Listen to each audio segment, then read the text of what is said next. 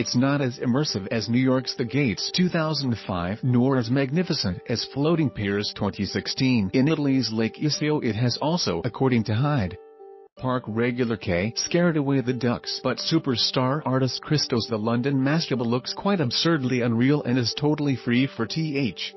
E-Public constructed with 7,506 brightly painted oil barrels. The 600-ton sculpture which is shaped as and named by the bench found outside NC. NT Mesopotamian houses floats like a serene 3D gift between Bridge Lido and Island. The Serpentine Gallery's synchronous exhibition on Christo and J.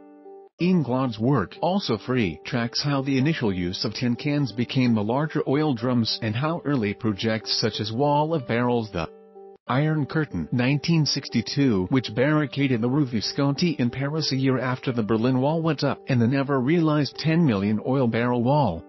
L. 1967 which was intended to link both sides of the Suez Crisis following the Six-Day War were overtly political architectural artistic intervention. NS intended for the public space. It also shows how the London Mastaba emerged from an unrealized million-barrel mastaba project for Houston, Texas. A. ND may be a precursor for a 150 m high one at the edge of Liwa Oasis, Abu Dhabi. In this light, it suffers the littleness of being a less committed ver. Sign of these other megaliths because thousands of stacked oil drums shimmering with Texan heat or towering over a road-scarred desert have a differ and kind of resonance to when they are floating on top of the serpentine. But under the changeable London sky the ruffled lake surface trembles with tea. He reflections of the painted barrels yoking together riverbed, water, artwork and sky into a slick perpetual dance. The intended effect isn't is apparent but when it is, the very strangeness of the installation is powerful enough. The assimilation of disparate parts alluring and its mass and Decolor irrefutable. Around the park, people aged from 6 to grandparent remark how much it looks like a slide it makes me feel fun, says Noah 7. Tucking into chicken nuggets and while the penny sweet colors fizz gently against greenery they also definitively block out the few buildings wick.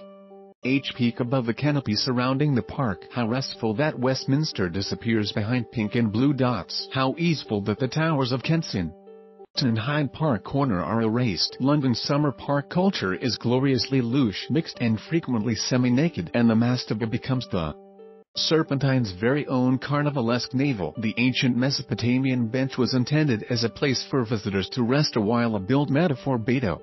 Kenning hospitality to walk the lake's perimeter then is to encounter this inscrutable floating mass at every step and to entertain its playfulness perhaps thoughtfully, but public art is arranged by individuals and a photograph of Hans Ulrich Obrist pasted onto one of the collaged London mastaba. Plans in the exhibition provokes a ripple of unease for its coterie and joke jumminess. Is this art genuinely in service of the public or merely survey? Sing the institutions involved? The answer, of course, is a mix of both but while Serpentine Gallery's chairman and ex-New York Mayor Michael Blue Berg is clear that the benefits that art brings to cities aren't always recognized. He is equally clear that quantitative benchmarks on the civic worth of art, how much extra revenue the mastaba brings to the already tourist-saturated businesses round the park outweigh the platitudinous qualita. To catch all about bringing diverse communities together. Yet most artworks can do that it's merely a matter of curatorial effort. That said, Th. There is genuine effort behind this installation as with all his other projects. The £3 million cost is borne by Christo and defrayed through selling artworks. And attention has been paid to the afterlife of the piece. Once the sculpture is dismantled its unrented components will be recycled and the Lake Y.